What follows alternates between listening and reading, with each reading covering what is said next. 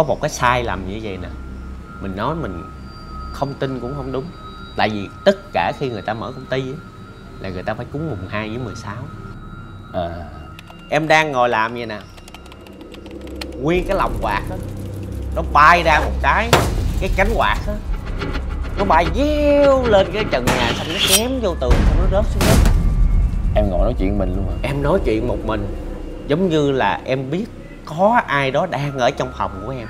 À em nói là thôi tôi mới vừa mở công ty ra tôi chưa có làm ăn gì hết. Nếu như mà anh chị mà phù hộ tôi làm ăn nên thì tôi cúng. Còn không thôi bây giờ muốn phá gì phá đi. Tôi cho phá hết rồi